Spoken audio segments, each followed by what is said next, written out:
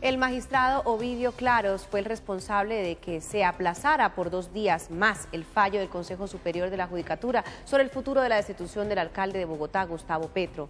El magistrado Claros, que parece ir en contra del procurador Ordóñez, solicitó el expediente para estudiarlo y solo hasta el próximo viernes se reanudaría la votación que todo parece indicar dejaría firme la destitución e inhabilidad por 15 años para el alcalde Petro.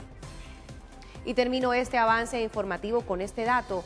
Las 17.744 ocupaciones ilegales que hay en Bogotá, principalmente en las localidades de Ciudad Bolívar y Rafael Uribe.